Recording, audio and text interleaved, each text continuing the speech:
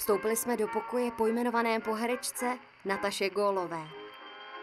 Noblestní pokoj větších rozměrů s ručně vyřezávanou postelí s nebesy. V arkýři se nachází dřevěná čalouněná sedačka a křesílka, na kterých máte výhled na centrální park s nasvícenou fontánou a sochy v nadživotní velikosti.